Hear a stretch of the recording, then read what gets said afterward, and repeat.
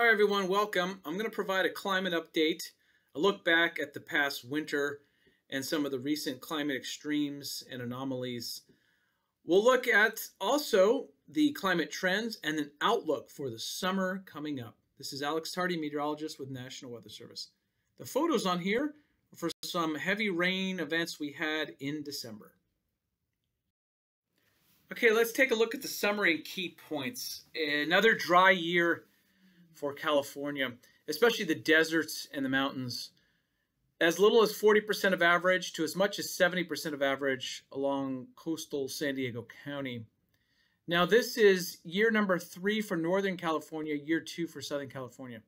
Temperatures this past winter were also milder, warmer than average, mainly for the mountains and deserts.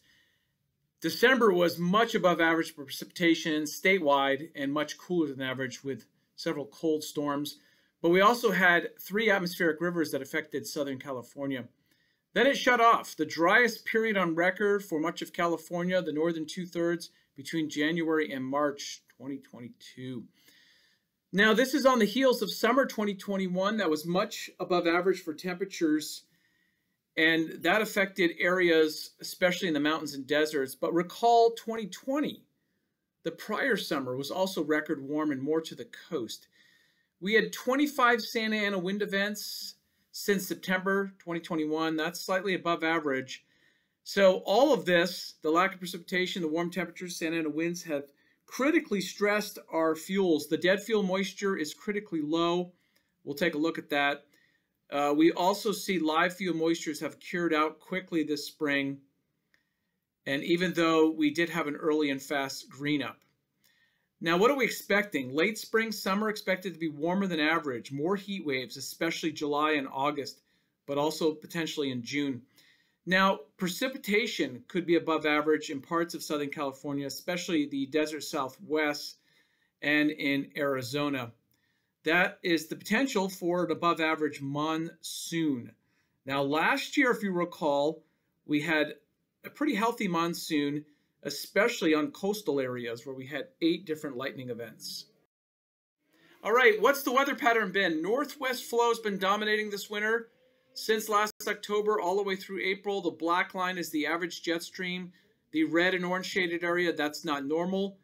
That's an anomaly, above average. That's a block in the Pacific jet stream that is causing the jet stream to remain during the entire winter on average to our north and east, and also creating very windy conditions for our deserts.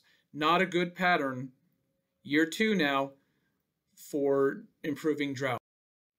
Now, if we look at the summer of 2021 and compare it to 2020, we can see it was different, but the dominant theme was upper level high pressure, much warmer than it should be in the Eastern Pacific, a block continuing from winter to summer, and then the Four Corners high shifted much further north than it should be. So in 2020, that shut off the monsoon with northerly flow, but in 2021, it shifted so far north into the Pacific Northwest on average, and it brought that enhanced easterly monsoon flow. Now let's take a quick look. 2021, the red shaded areas, those are warmest on record, simply put. And you can see it made it all the way to coastal areas in parts of California, but dominated across the mountains and deserts. So 2021 was much above average, record warm in the red shaded areas. Main areas that were spared were the immediate coastal areas of Southern California.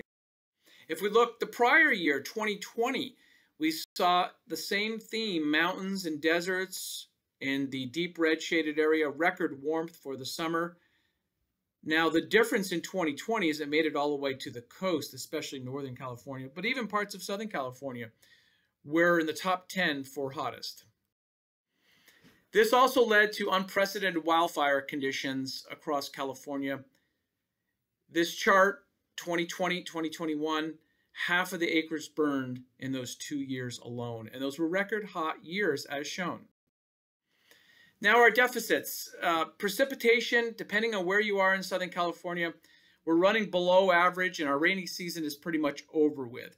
San Diego over three inches below average, Riverside over four inches, Ramona near five inches. It's also our mountains, such as Idyllwild, six inches. Now, our deserts, this is back to back years with very low precipitation for our deserts, as shown here in Palm Springs. If you look at the water year, this is a map showing since October 1st, the red shaded areas are less than 70% of average, dark shaded red or less than 50% of average, and that includes our deserts of Southern California. You can see the temperatures this past winter were mild, uh, mainly for the mountains and the desert areas, an ongoing trend in those areas.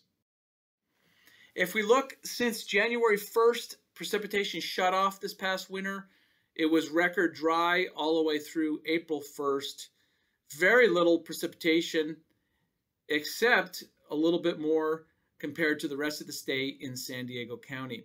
What was remarkable was the snowpack went from 160% of average on January 1st down to 18% of average in late May. Between January and March, the red shaded areas indicate the driest on record. It wasn't just Northern California. We were close in Southern California where January and February were the second driest on record for Riverside and Santa Ana. In fact, more snow occurred during this period, January through March, in Mount Laguna in San Diego County than it did in Mammoth. Okay, we mentioned earlier the stress on the fuel. The dead fuel moistures are shown here, and they currently in the Southern California mountains are running right at record low levels, record low levels. So that's not good, especially with heat waves or any windy situations if we do get a fire start.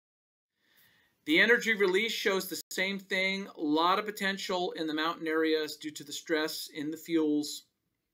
And we already know that the live fuel, especially the grasses, the fine fuels, have cured out. So Southern California mountains are stressed with a lot of potential for significant fire growth if there is any ignition.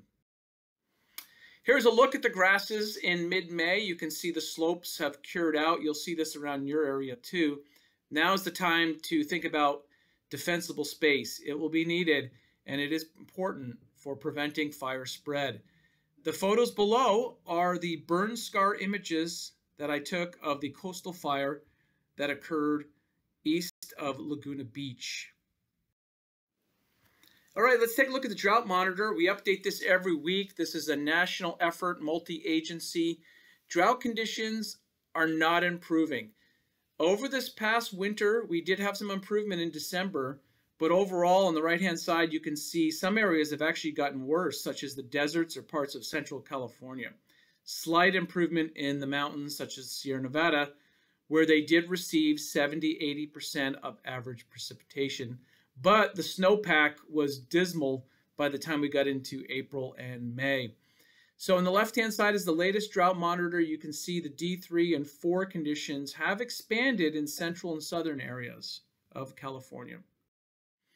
What's the outlook? So for early June, well, we do expect a significant warming coming up this week as June starts, but we expect a cool down for next weekend. And so between June 4th and 8th, a unusual cool system will settle and bring precipitation back to the Pacific Northwest and cool conditions across that area, uh, coming out to about average with temperatures.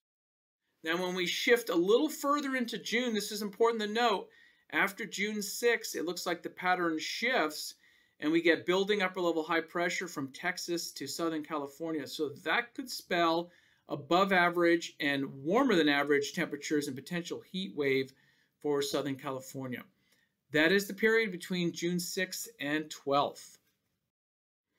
Now, when we look further into the middle of June, we see again a roller coaster shift where we cool down in mid June across the Pacific Northwest and the potential for average conditions returning for the middle of June after that potential heat wave with the heat then shifting or retreating back to Texas again.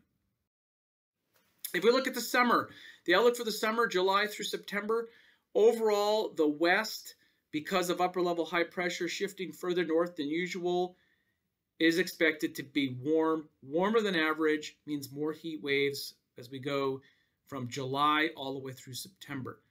A little bit of good news is that desperately needed the southwest could have above average monsoon, but with that brings dust storms, flash floods, and even some danger from lightning for fire weather.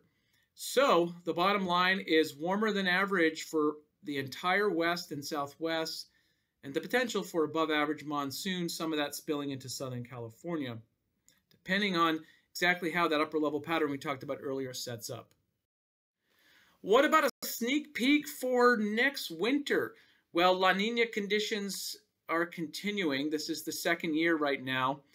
We have three years of drought for Northern California, two years of drought for Southern California, and the initial outlook is not promising. In fact, we are going for below average precipitation and warmer than average temperatures for the following winter into 2023. Thanks for tuning in. Hopefully, this is helpful for you for your planning and understanding of our climate extremes and providing an outlook uh, from June all the way through next winter.